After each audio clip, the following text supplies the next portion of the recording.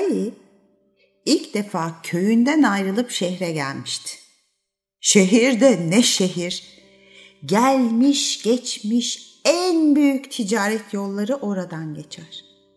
Baharatların en lezzetlileri, kumaşların en güzelleri, mücevherlerin en parlakları orada bulunur. Bütün yollar ona gider, bütün yollar ondan başlar. Bütün yolculukların en son noktası, şehirlerin en büyüğü, en kalabalığı. Gün boyu sokaklarda kocaman gözlerle dolaştı bizim kayı. Hiç bu kadar ev, hiç bu kadar çok insan görmemişti. Dükkanlar çeşit çeşit göz kamaştırıcı ürünlerle onun başını döndürdü. Ama kesinlikle en şaşırtıcı olan şey insan kalabalığıydı. Sanki bütün dünya bu şehrin pazar meydanında buluşmaya gelmişti. Sokaklardan bile zor geçiliyordu. Akşam olduğunda kervansarayın yolunu tuttu. Kervansarayda ona uyumak için gösterilen köşede yaklaşık 100 tane başka adam uzanmıştı. Akşam yatmak kolay da sabahı vardı bu işin. Sabah bunca yan yana duran gri çoraplar, siyah pantolonlar arasında kendine ait olan ayağı, bacağı, bedeni, kolu nasıl tanıyacaktı ki? Hele bu şehirde. Onu tanıyan yoktu ki. Bazen bir dost bize bakınca bilmediğimiz yabancı bir şehirde bile olsak anında kim olduğumuzu kendi kendimize hatırlarız. Ama yabancıların arasında kendini kaybetmek çok kolay olurdu. Yatmadan önce bir çözüm düşündü ve en sonunda da buldu. Belki biraz küçük ve basit bir çözümdü ama kesinlikle işe yarayacaktı. Kayı çantasından kırmızı bir ip çıkardı ve onu bileğine bağladı. Uzandığı ve uykuya daldığı başkalarının yanında hiç kimsenin bileğinde kırmızı bir ip yoktu. Artık rahatça uykuya dalabilirdi. Sabah kolayca kendini bulabilecekti ama bu taze haliyle köyden gelen yolcuyu çok eğlenerek ve gülerek izleyenler olmuştu. Onu fark etmişlerdi. Onun bu şaşkın hallerine şahit olup bileğine bir de kırmızı ip bağladığını görmüşlerdi. Bu şehirde kendi kendine kalman neredeyse imkansızdı. Her an fark edilebiliyordun.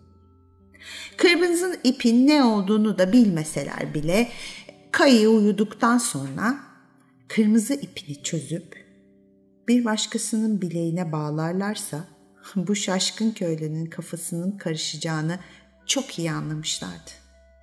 Öyle de yaptılar.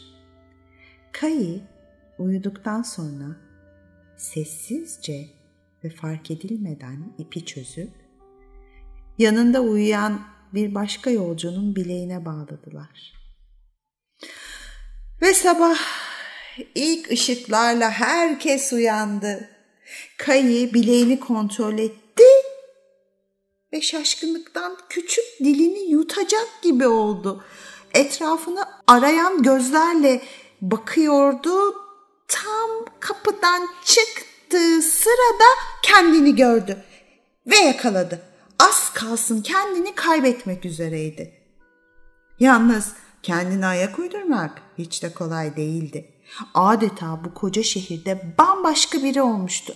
Kendi hızına yetişmekte zorlanıyordu. Bir sağa bir sola koştu, bir o dükkana girip çıktı, kalabalık pazar yerinde yürüdü, peşinden gitti. Artık kendini takip etmek iyiden iyiye zor olmuştu ki kırmızı ip yok oldu. Ona bağlı bedeni de kendini kaybetmişti.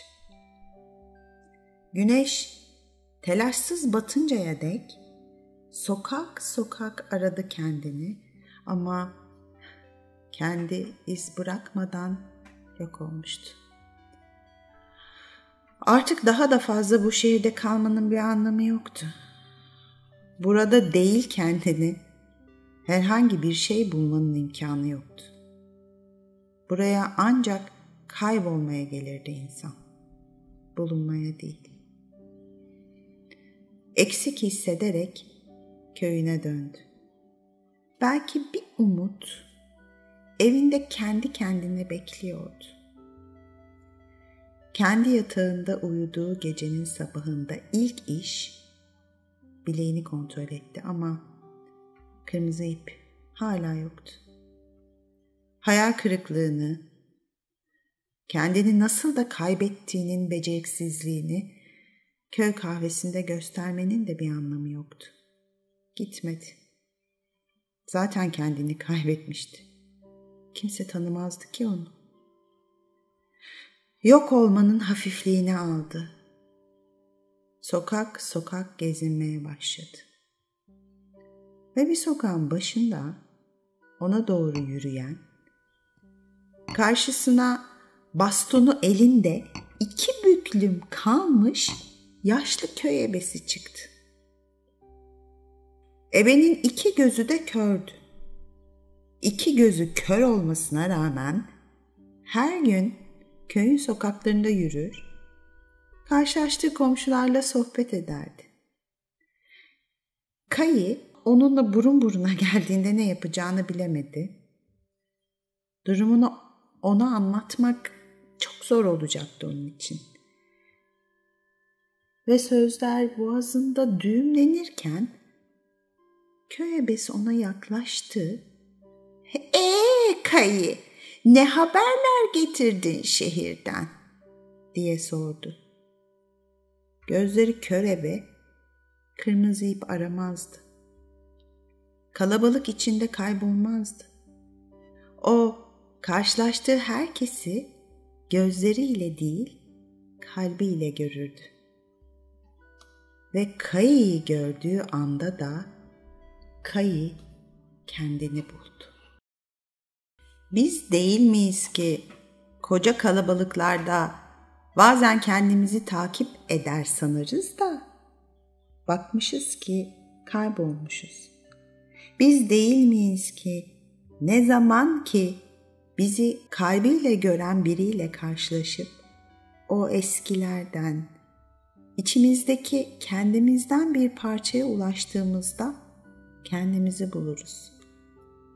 Belki yolcu bu masala yolun düştüyse sen de bizim gibi bileğini kırmızı bir ip bağlamak istersin. Gökten üç kırmızı elma düşmüş. Biri masalı anlatanın başına, biri masalı dinleyenlerin başına, diğerleri masalların ruhlarına. Müzik